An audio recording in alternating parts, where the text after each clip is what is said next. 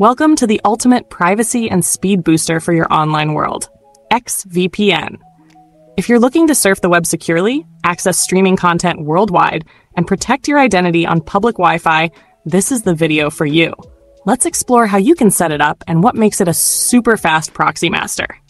XVPN is your all in one solution for private, secure, and high speed internet access. Whether you're browsing, streaming, or using public Wi Fi, XVPN shields your online activity and hides your digital footprint. It offers 11 secure protocols to choose from, support for up to five devices, access to 8,000 plus servers across 50 plus global locations, premium only, built in private browser and kill switch for extra protection, premium only, automatic server detection and speed testing tools, premium only optimized experience on Android TV for smooth streaming, premium only. With a strict no log policy and compliance with local privacy laws, XVPN prioritizes your online safety. When connected, your internet traffic is fully encrypted. You can stream HD videos, unlock geo-blocked content, and enjoy high-speed connections anytime, anywhere. Plus, if the VPN disconnects unexpectedly, the kill switch ensures your internet access is blocked to prevent data leaks.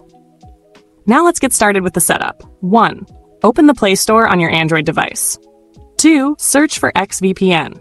3. Click Install and wait for it to download. 4. Once installed, open the app. On the homepage, you'll see a large power button at the bottom. Tap Free Service to open a new window. Choose your desired location. Note, all server locations are part of the premium plan. Start the free trial if you'd like access to all servers. Now let's select a protocol. Tap the Auto button a new window will pop up. Choose your preferred protocol, UDP, TLS, or TCP. Once selected, return to the home screen. Finally, tap the big connect button to enjoy a secure, fast internet connection instantly. That's it. You're now ready to browse safely, stream faster, and protect your privacy with XVPN. If you found this tutorial helpful, don't forget to like, subscribe, and share it with your friends. Thanks for watching and stay safe online.